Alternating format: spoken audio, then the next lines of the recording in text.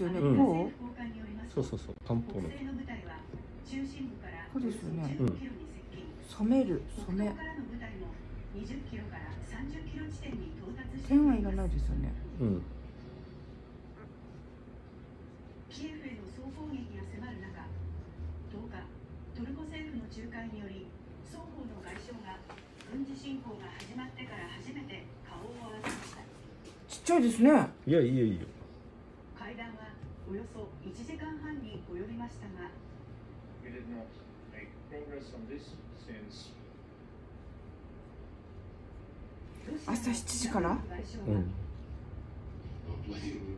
だから7時からが結構良かったみたいでねね Украина не нападали. А Я не удивлен, что господин Кулеба заявил, что не удалось договориться о прекращении огня. Здесь никто не собирался договариваться о прекращении огня. 停戦についてはベラルーシで行われている交渉 OK です。よ 身内じゃん。いいっすよね。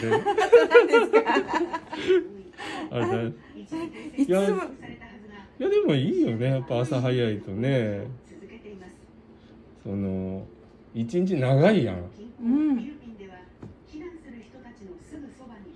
やそうなんよね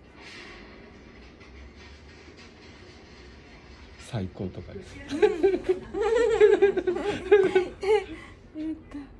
そして攻撃は子供たちにも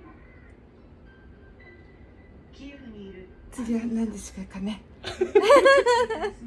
どんなやろ腕に大怪我をしたとまあだけ休みがあるよねうんあの休みが一日たっぷり使えてだ仕事主婦の人が多かったんよ朝早いのうん。ほら仕事しててうん。休みやただまあ朝早く終わってればすごいね。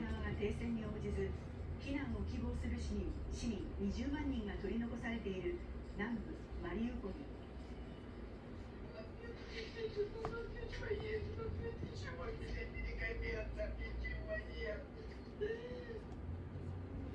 ロシア軍が包囲を続けているため水や食料薬などの不足が深刻化。多くの市民が地下の避難所などに取り残されているのです。いいっすね。次々と運び込まれる。かですかね。中